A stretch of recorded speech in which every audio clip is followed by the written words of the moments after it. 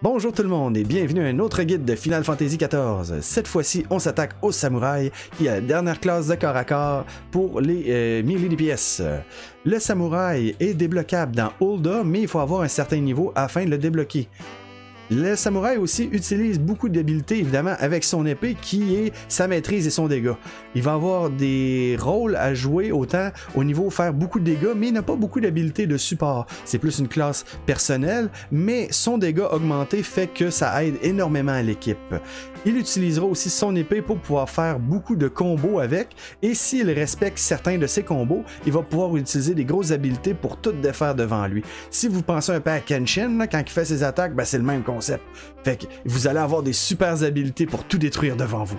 Fait que si le samouraï, au fond, si vous vous aimez des attaques rapides avec une épée, mais vraiment la maîtrise de votre katana en tant que tel, le samouraï est pour vous est une excellente classe pour faire beaucoup de dégâts. Alors sur ce, on se revoit dans la prochaine capsule qu'on va discuter des range DPS. Alors c'est un rendez-vous à ne pas manquer. Bye bye tout le monde, à la prochaine.